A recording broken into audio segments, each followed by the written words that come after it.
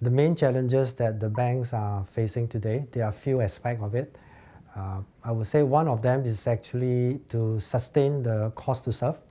Over time, as far as the bank is concerned, um, we, we look at the uh, margin compression going forward. So cost to serve, to sustain the, the, the cost to serve the, the, the, segment is very, very key to us. Of course, from the bank point of view, uh, we are also looking at uh, speed and relationship. In order to actually support the business going forward, uh, we need to provide speed. At the same time, we need to uh, enable the business to uh, connect with our customer segment. So these are the key areas where we have to actually uh, pay enough attention to sustain the business.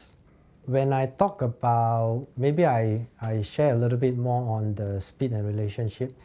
If you talk about any bank that offer either speed or relationship, what will happen? If you have speed without relationship, what will happen is that you need to play a lot more based on pricing.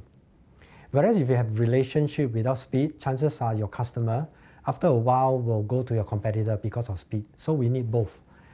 Having a solution uh, from our architectural perspective, we need to have a solution that allow us to do both. One is on the relationship to be able to bundle our various products. Uh, end of the day, to provide the win-win from bank as well as the customer perspective. Win-win in the sense that the bank, we love to bundle multiple products uh, for each and individual customer so that to create a stickiness. From a customer perspective, they gain in terms of the, the, the various uh, products set within the bundle. Ultimately, they have a better returns. They enjoy a better returns as well as better service from us. And in terms of uh, speed, I was talking about, uh, if you do not have certain capability that can actually um, support this uh, bundling, uh, the turnaround time to our customers will actually be impacted.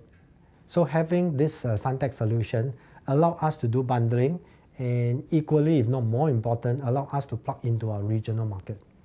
Suntec sounds like a feel like one of those matured fintech company that they know they have the domain expertise in terms of what banks need, uh, more so what a regional bank will require.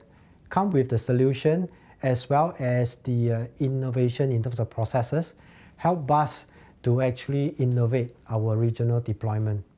Suntec uh, fit into our enterprise architecture in terms of the capability wise also offer us something more mature in terms of solutioning, allow us to innovate more on our business model. Our experience with Suntec so far, I think uh, everything has been good.